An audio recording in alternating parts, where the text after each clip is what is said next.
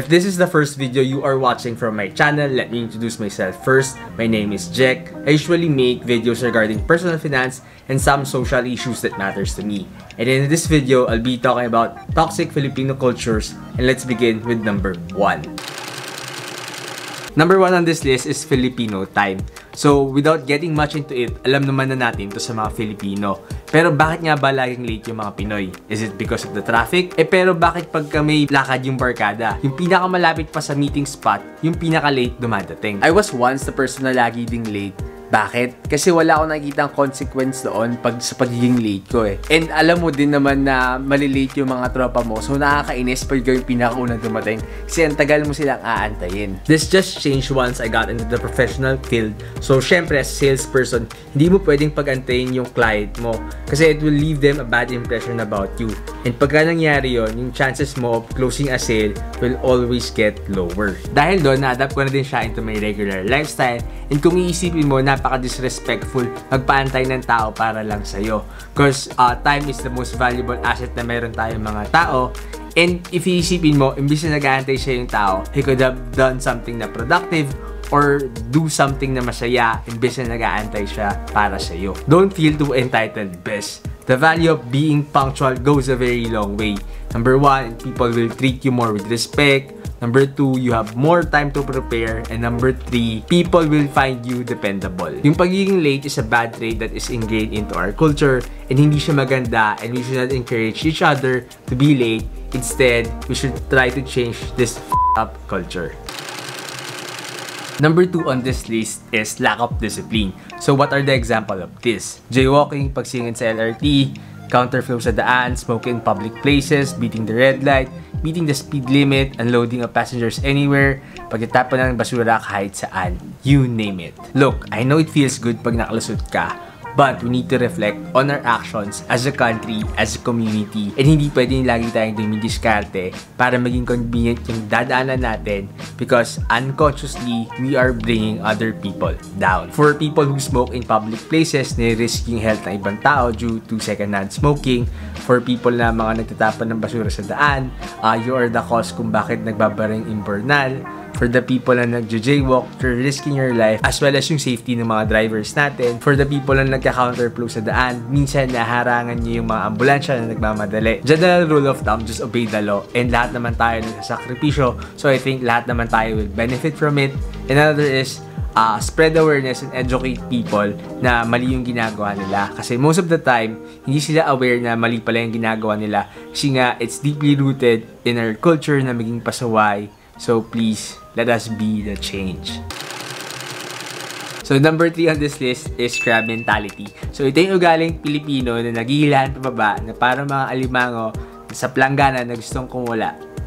Ano, But it's a bad trait, obviously. This is just my personal opinion and this is not verified. But yung thesis ko about this, kung bakit ganito yung mindset natin is, when you look at the school system and when you look at the corporate system, there are only few people para sa taas. In the school system, there's only one valedictorian and salutatorian and so on and so on.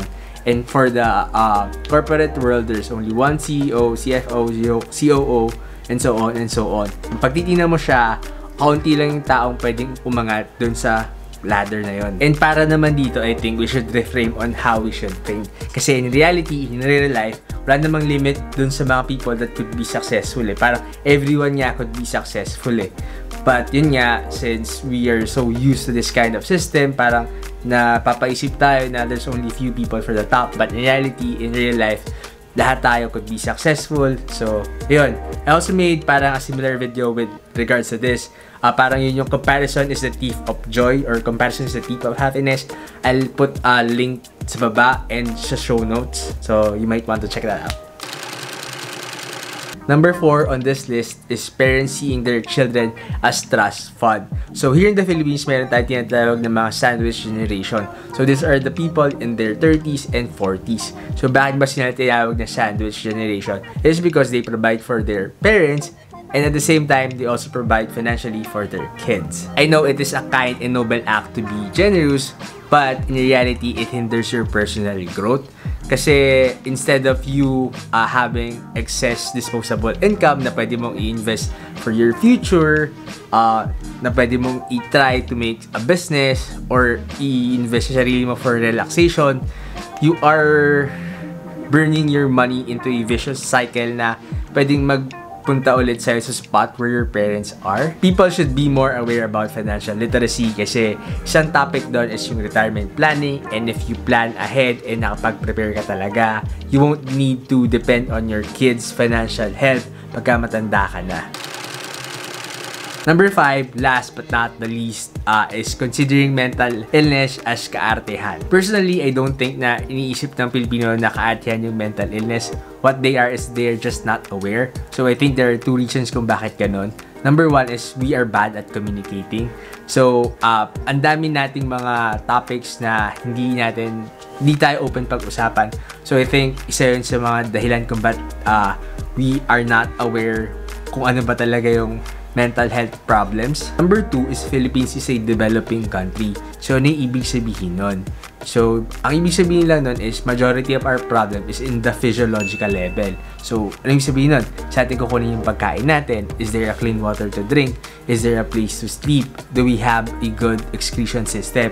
So, without us solving yung mga bagay na yun, it's harder to spread awareness about mental health. I'm not an expert with regards to mental health, but how I understand it is need to have more empathy to people who are mentally ill and we need to parang learn how to listen and be present for them. Instead of being mad dun sa mga tao who is not aware about mental health, instead, uh, just spread awareness. Kasi malamang sa malamang, that person na you want to be mad at is also going through something na iba lang. It's just a different variation of a life problem. Look, if you really think about it, the world has enough hate already and we need to spread more love. Before I end this video, let me answer your question that I passed on last week. How can an engineering graduate, student slash entrepreneur make a shift in the perspective of other Filipinos towards a better society with regards to financial management and life in general? I'd like to answer na lang this question in a more general uh, matter like how could you influence anyone positively?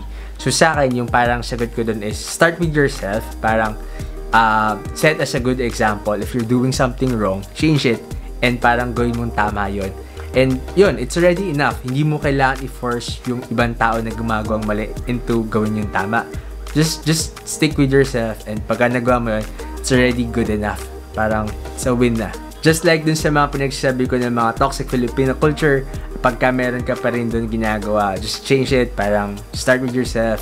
Uh, huwag mo nang gawin, itama mo yung mga mali mo. So, yun. If you like this video, hit the thumbs up button and subscribe to my channel. I upload videos every Thursdays and Saturdays. So, yun.